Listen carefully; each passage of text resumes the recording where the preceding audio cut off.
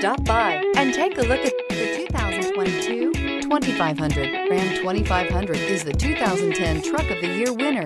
It is the hardest working truck in tow business. This vehicle has less than 100 miles. Here are some of this vehicle's great options. Electronic stability control, brake assist, traction control, rear step bumper, speed control, front license plate bracket, four-wheel disc brakes, low tire pressure warning, power windows, tachometer.